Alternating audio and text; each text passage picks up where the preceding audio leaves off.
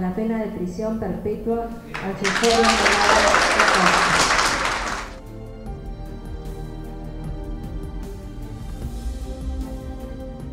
Se tiene que podrir en la cárcel. Mató un ángel, mató a un ángel, que no se merecía esto. Pero hoy se cerró una etapa y tenemos que comenzar otra.